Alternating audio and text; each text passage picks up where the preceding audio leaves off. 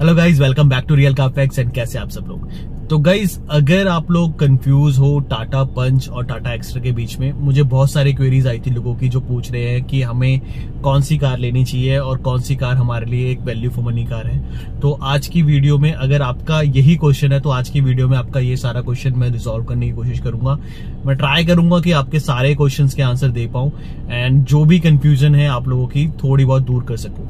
मैंने दोनों car drive करी है, दोनों कार्स को मैंने चलाया है। उसके एक्सपीरियंस के बेसिस में मैं आज आपको आपको बताऊँगा कि कौन सी कार आपके लिए बढ़िया हो सकती है और आपको किस कार की तरफ़ जाना चाहिए। तो गाइज़ बात करते हैं टाटा पंच की। टाटा पंच को मैं डेढ़ साल से ओन कर रहा हूँ। इसको मैंने काफ़ी ज़्यादा चलाया है, काफ़ी कंडीशन पे इसको ड्राइव किया है। तो उसके बेसिस पे मैं बता सकता हूँ पहले तो मैं आपको ये बता दूँ कि क्यों इनके बीच में कंपैरिजन हो रहा है बिकॉज़ दोनों एक कंपनी तो यही क्लेम करती है कि दोनों एक मिड साइज़ एसयूवी सेगमेंट की कार्स हैं।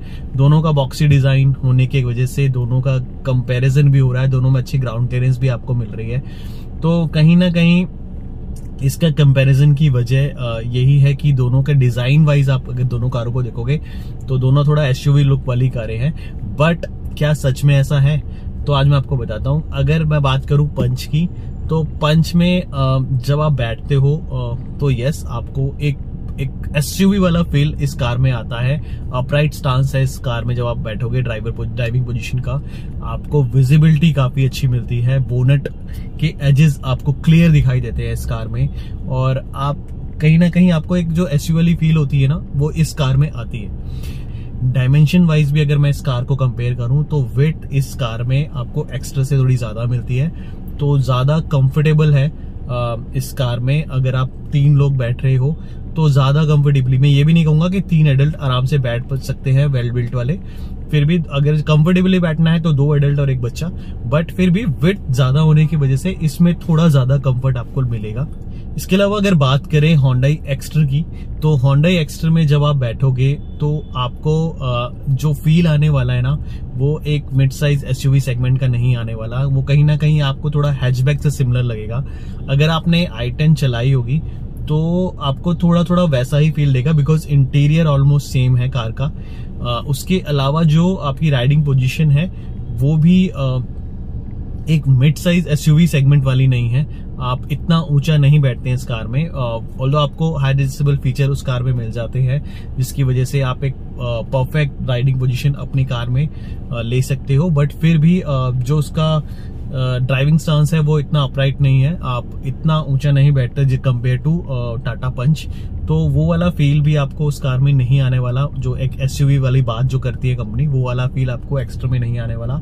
वो कहीं ना कहीं आपको हैचबैक से सिमिलर एक्सपीरियंस देगी वो कार बात करें उस कार की ड्राइविंग एक्सपीरियंस की तो वो कार पंच से ज़्यादा आपको पेपी इंजन उसका फील होगा because of his kerb weight उसका कर्व वेट थोड़ा कम है पंच के कंपैरिजन में तो इंजन ज़्यादा पेपी फील होगा। अगर आप एक्सलेट करोगे तो रिस्पांस वो कार आपको ज़्यादा देगी। उसके अलावा फोर सिलेंडर इंजन होने की वजह से एनवीएच लेवल भी उस कार का काफ़ी लो है। वाइब्रेशन और नॉइस की इशू उस कार में आपको फील नहीं होने वाला। काफ़ी रिफाइंड इंजन है। होंडाई जिसे जाना जाता है अपनी रिफाइनमेंट इंजन रिफाइनमेंट और उनकी गेयर शिफ्टिंग भी आप देखोगे, बहुत स्मूथ गेयर शिफ्टिंग है। तो ये सब चीज़ें आपको होंडाई एक्स्ट्रा में मिलेंगी।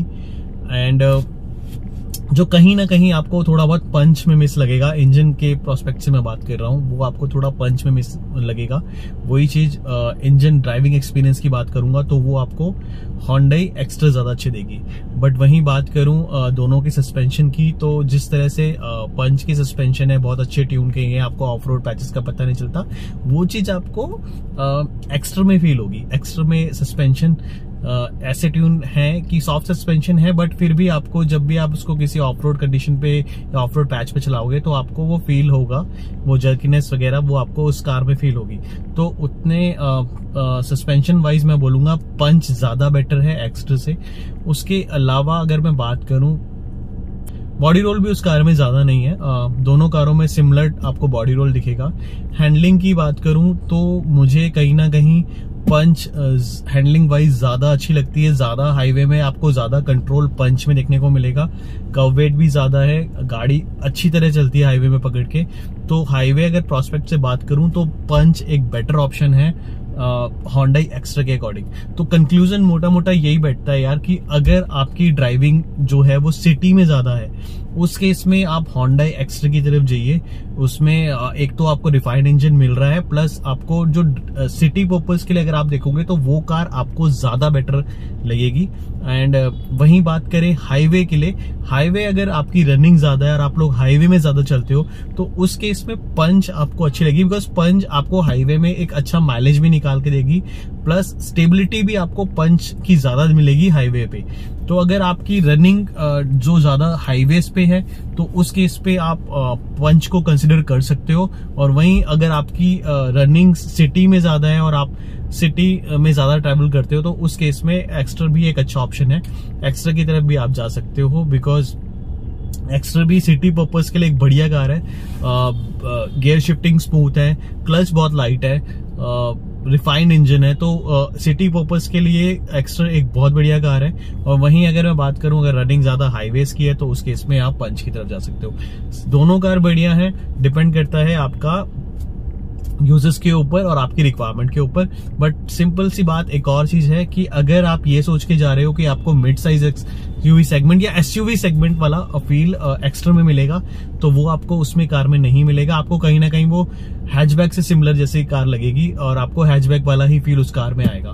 तो अगर आप आ, सिर्फ़ एक उस प्रोस्पेक्ट से देख रहे हो कि हाँ यार मुझे एक एसयूवी फील वाली कार चाहिए तो उस केस में भी आपको टाटा पंच ही एक बढ़िया कार लगेगी, या टाटा पंच ही आपको सूट करेगी। आई होप मैं आपके कुछ डाउट्स को क्लियर कर पाया हूँ इस वीडियो में। अगर आपको ये वीडियो पसंद आए तो please like to this video और अगर आप एक्चुअल में नए हो तो please subscribe to our channel because यार, आपके एक लाइक और आपके एक सपोर्ट से हमें बहुत ज़्यादा मोटिवेशन मिलती है। तो गाइज़ इस वीडियो में इतना ही। मैं मिलता हूँ आपसे नेक्स्ट वीडियो में तब तक के लिए बाय